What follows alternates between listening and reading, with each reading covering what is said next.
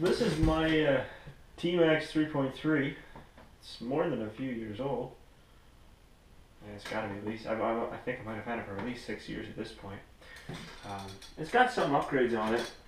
I changed upper and lower control arms to aluminum, put aluminum skid plates on it. Uh, looks like I've got one steel drive shaft in the front, plastic in the back. I know I used to have two steel drive shafts, but obviously that was short lived. I put a high torque uh, steering servo on it. Just as things broke, I kind of upgraded and fixed it. Anyways, um, oh, I got aluminum bulkheads on it too. Yeah, front and rear aluminum bulkheads. Cool. Okay, so aftermarket exhaust, I guess.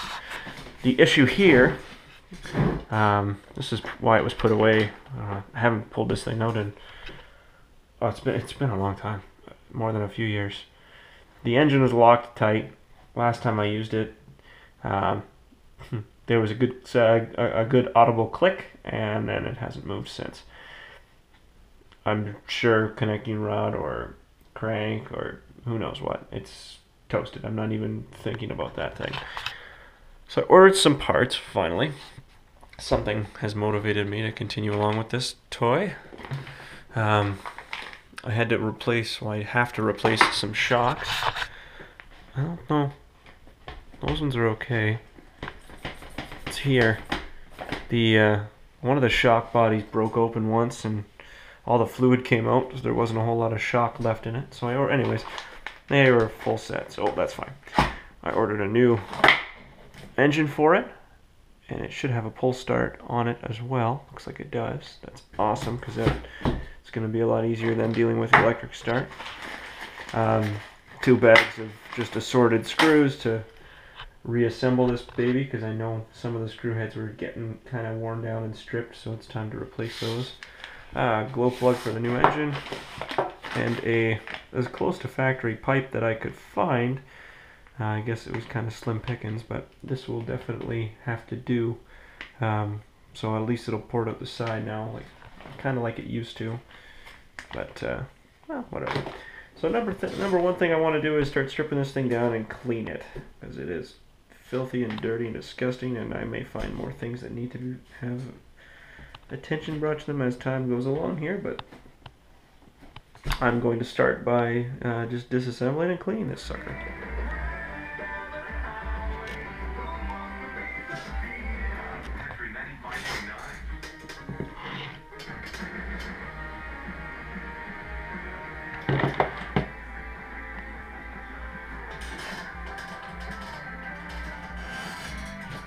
Pulling the motor apart just to see what's what?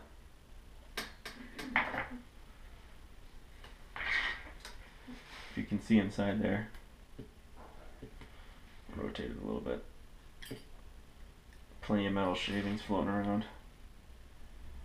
Uh, There's some chunks.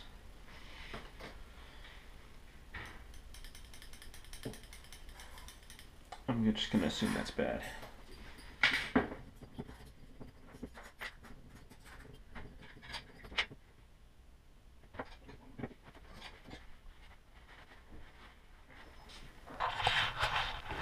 There's the top of the piston. I don't know that this is going to show up on the camera. There's actually a crack in it, and it's bubbled up.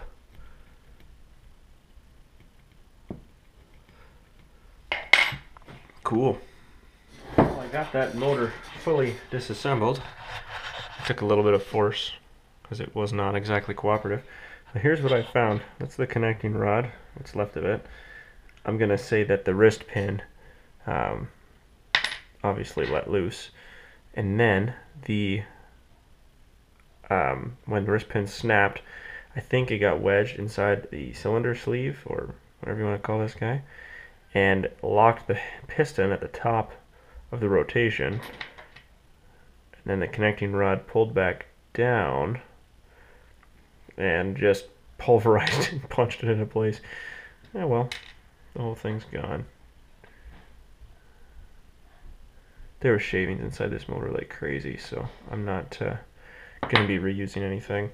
You see the all this shit in there.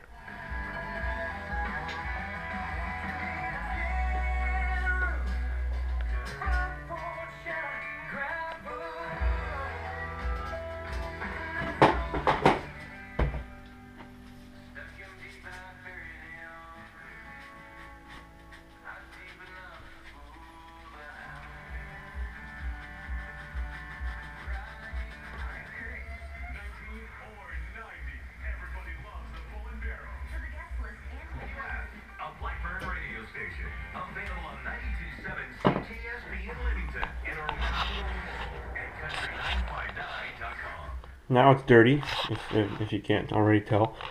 Uh, so what that means is it was running. I broke the motor in. Um, I did run five tanks of gas through it. I'm probably going to take it easy on the next couple tanks as well. Um, now, I was basically following what it says to do. The fifth tank is uh, quite a bit of open throttle running, you know.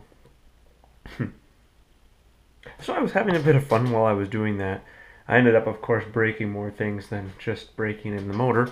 Um, the there's I think four, seven screws that hold the transmission casing uh, to the body of the truck, to the frame of the truck, and I know mine were loose. So when I put them in, when I was reassembling everything, I felt it, and I kind of said, "Well, we'll see what happens." Um, eventually, that caught up with me. what happened then is the uh, casing of the transmission basically lifted off of the frame of the truck or the, the chassis of the truck. Uh, when it did that, it started slipping uh, on my on that plastic drive gear for the trans. So it ate the gear. Okay, whatever. That's three bucks or something. Not a problem. Um, but just prior to that, I had adjusted the clutch. I had loosened the clutch actually.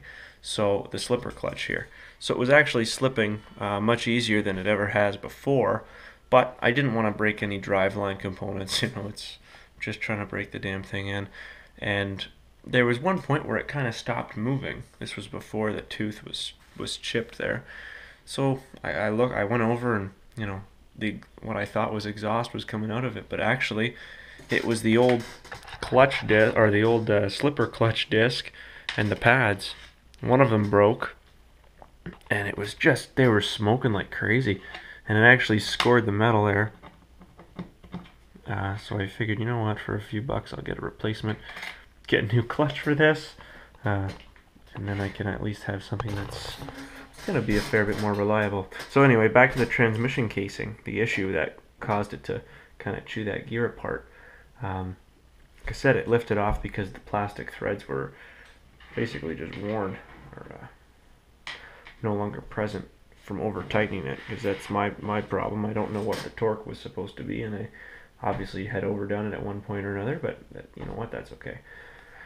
So I grabbed a a hand tap. I use this at work all the time, and some uh, some 632 by two inch machine screws. If you're an electrician, you'll recognize this. That's the screw that holds the device into the box. So I have an abundance of them. So this was a pretty easy fix for me. So those machine screws that originally come with uh, this truck physically are, are almost the same size. Here I can get a little comparison here.